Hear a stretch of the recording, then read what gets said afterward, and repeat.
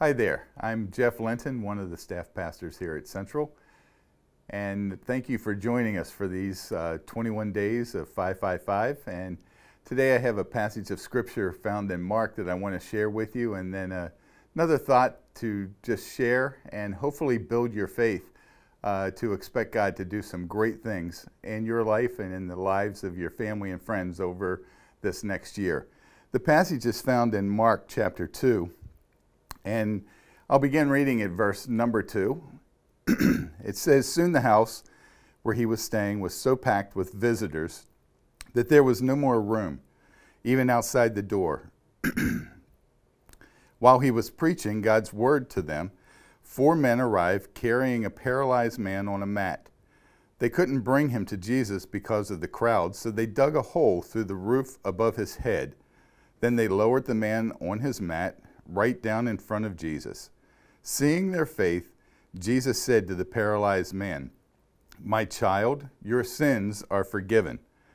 But some of the teachers of religious law who were sitting there thought to themselves, What is he saying? This is blasphemy. Only God can forgive sins. Jesus knew immediately what they were thinking. So he asked them, Why do you question this in your hearts? Is it easier to say to the paralyzed man, Your sins are forgiven? Or stand up, pick up your mat, and walk? So I will prove to you that the Son of Man has the authority on earth to forgive sins. Then Jesus turned to the paralyzed man and said, Stand up, pick up your mat, and go home. The man jumped up, grabbed his mat, and walked out through the stunned onlookers. They were all amazed and praised God, exclaiming, We've never seen anything like this before. My challenge to you in this new year is how far are you willing to go to see God do the miraculous in your life and in the lives of your friends and family?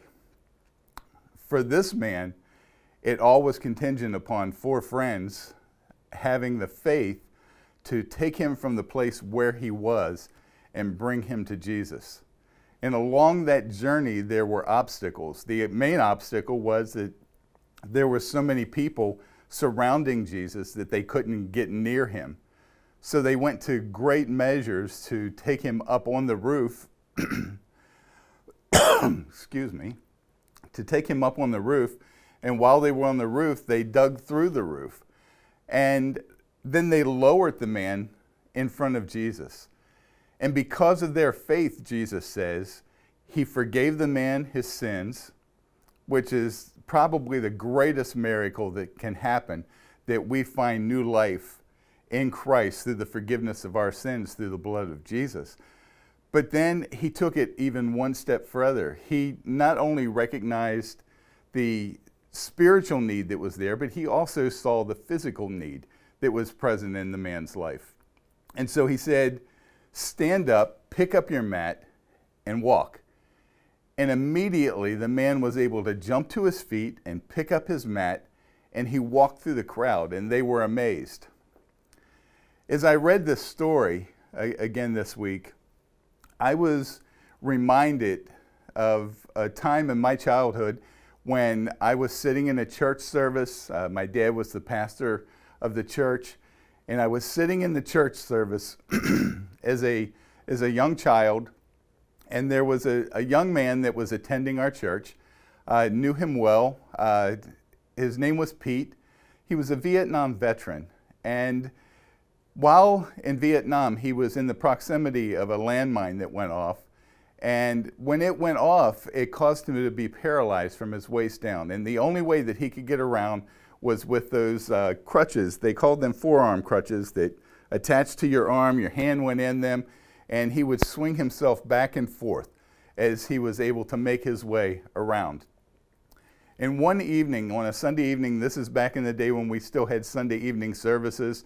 Uh, at the conclusion of the service, there was an altar call made, and people gathered around the altar just to seek God. And I remember sitting there and I could hear Pete praying. I was sitting on the front row because my mom was playing the piano uh, during the, uh, the prayer time. And I needed to be close to mom because that was the rule. And as I'm sitting there listening to Pete pray, I, I couldn't really hear what he was saying, but there was a moment in that prayer when Pete, who was on his knees, just he fell straight over. Uh, when he fell, uh, God must have done something, well, not must have, God did something very miraculous in his, in his body because in a moment, Pete jumped to his feet, he threw those crutches off to the side, and he began to sprint around the perimeter of the inside of that building. And I remember as a child sitting there completely amazed at what was happening because I had seen this young man on multiple occasions. It, it was like every service, Pete was there. And I, I remember seeing the struggle that he had being able to get into the building, uh, to, to be there, to worship God, to hear God's word, to have his faith built. And on that moment, I don't know why it was that moment, and I can't say that I've ever seen anything like that since. And I don't want to lock God into doing things a certain way, but on that moment, when Pete jumped to his feet, he was completely healed.